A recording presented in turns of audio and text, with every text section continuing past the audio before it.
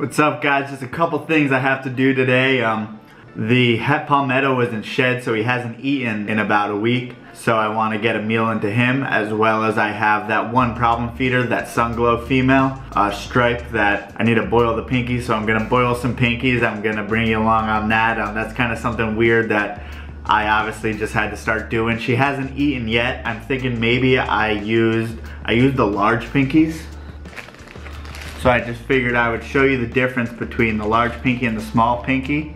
So on top here is the large pinky and then the bottom is the small pinky. I was trying to give her large pinkies boiled, but maybe she'll eat a couple small pinkies boiled. So it's worth a try.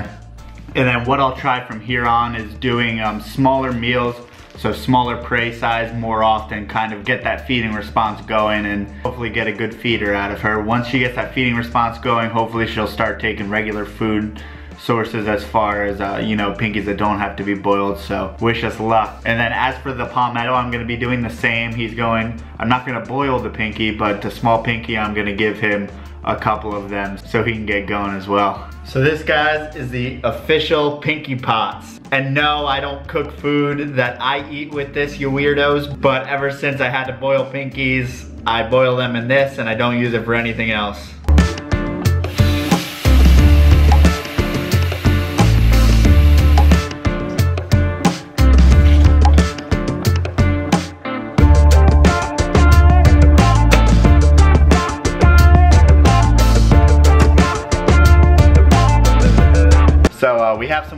Just about to reach boiling. So I'm gonna take out our pinkies.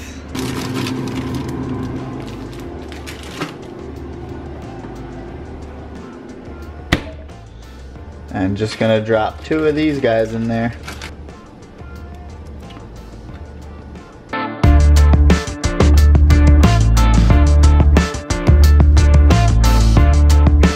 I guess you could say that they're done who knows when a pinky's done. But what I'm gonna do is drain it out.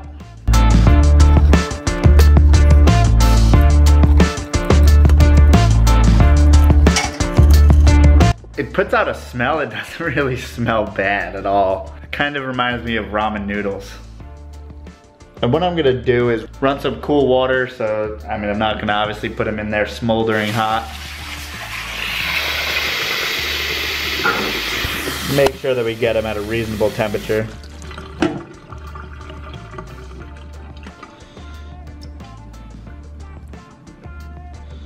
And there we go.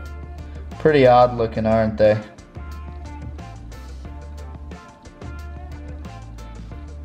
See, this girl always looks like she's going to have a good feeding response. And then she doesn't eat. I think it's more of a defensive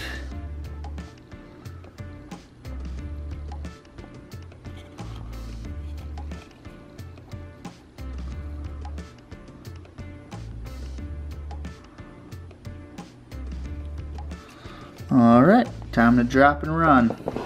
So initially I thought maybe I was going to have to thaw the pinkies out before I put them in the boiling water, but I found success just putting in the frozen pinky and it boiling like that. I mean, I don't think there's any difference. Um, I don't like to thaw out regular pinkies in hot water just because it makes the skin a little bit thinner and it makes them kind of, it makes the pinky pop. I don't know how else to explain that. So that's why I wasn't gonna do it, but boiling, you can just put them in there, right in there frozen. Also, weird sidebar about the about the pinky pot. I did have one time I had a friend over, he was making breakfast and I saw him flipping bacon and I was looking at it, I was looking at what he used. I was like, I don't think we had tongs. And it turns out that he was using my feeding tongs to flip our bacon. So that's gonna happen when you're using kitchen utensils for uh, reptile things. So yeah. So here's the menu today. Three regular frozen thawed pinkies for the palmetto, for the het palmetto male. And then I have two pinkies for the hognose, for our male hognose. So they're both uh, gonna be what I would call drop and runs. So I just put the pinky in there, I drop it in there, and uh, yeah, that's it.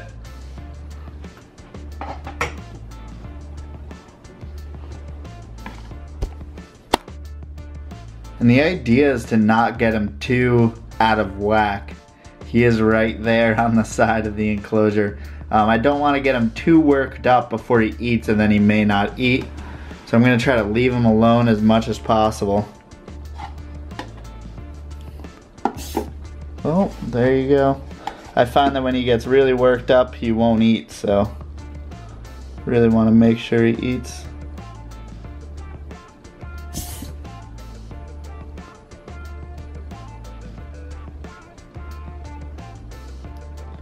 So we struck it, but it looks like it was just a uh, defense strike.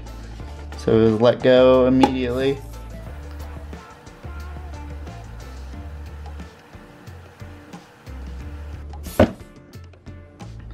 Now I just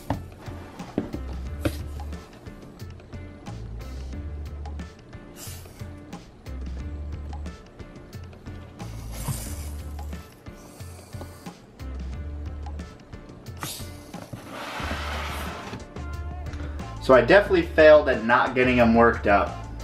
But we'll see if he eats.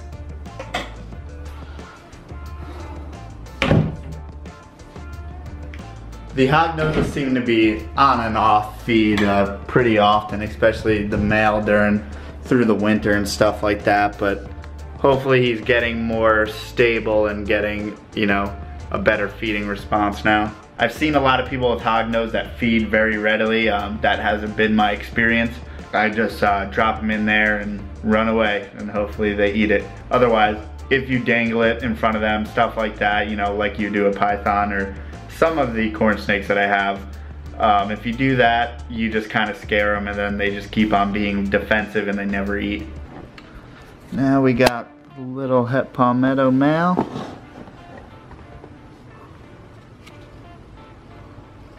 See if he wants to eat.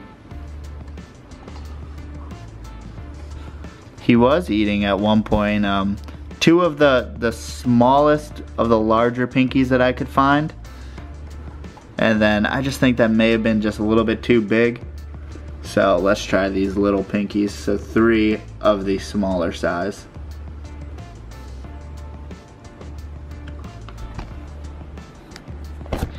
So unlike a lot of your pythons, especially like things like carpet pythons, um, carpet pythons do well with big meals spread out.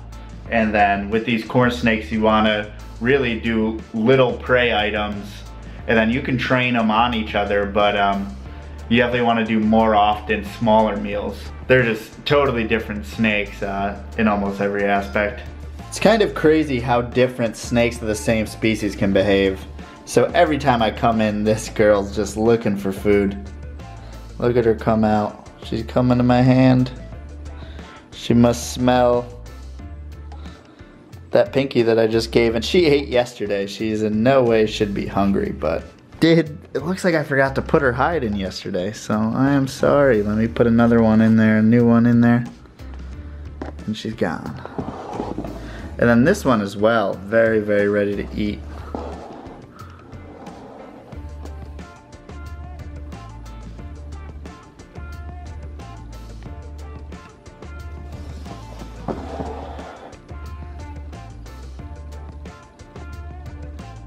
We are getting to that point to where we may think about bringing these guys up into a bigger tub pretty soon. You know, they just put on so much size pretty quickly. So there's a comparison compared to the tub size. I mean, it's good for now, but um, I'd like to get them into the next rack pretty soon. Now it is time to sanitize. So I may be a little like germophobic or something, but I always make sure to wash my hands with soap and water every time I go near a mouse or rat or pinky, whatever it is. I really don't want whatever those rats aren't exactly clean creatures, especially to uh, other warm-blooded animals. So I definitely want to keep away from whatever germs are on those guys. Our picky eater hasn't eaten yet, but the het palmetto male already ate all three of those pinkies. So we are looking good.